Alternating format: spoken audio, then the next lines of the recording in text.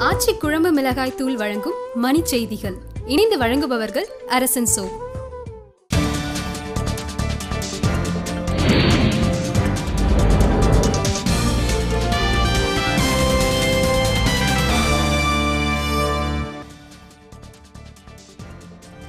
குஜராத் கடல் பகுதியில் பாகிஸ்தான் ராணுவம் துப்பாக்கிச் சூடு. இந்திய மீனவர் ஒருவர் உயிரிழப்பு. மதுரை அருகே சின்ன மலம்பட்டி கிரானைட் குவாரியில் ஆறு அடிக்கு மேல் தோண்டிய போது மேலும் ஒரு எலும்புக்கூடு மீட்பு.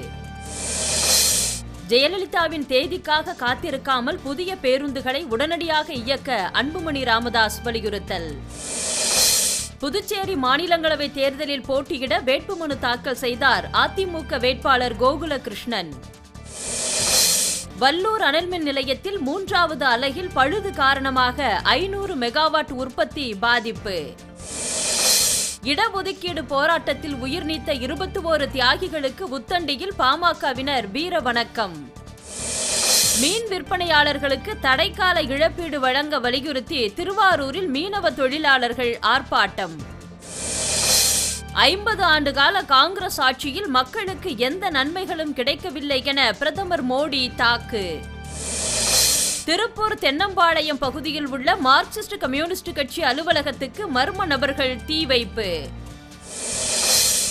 கொரியாவில் நடைபெற்று வரும் இறகுப்பந்து போட்டியில் அரையிறுதிக்கு முன்னேறினார் இந்தியாவின் அஜய் ஜெய்ராம்.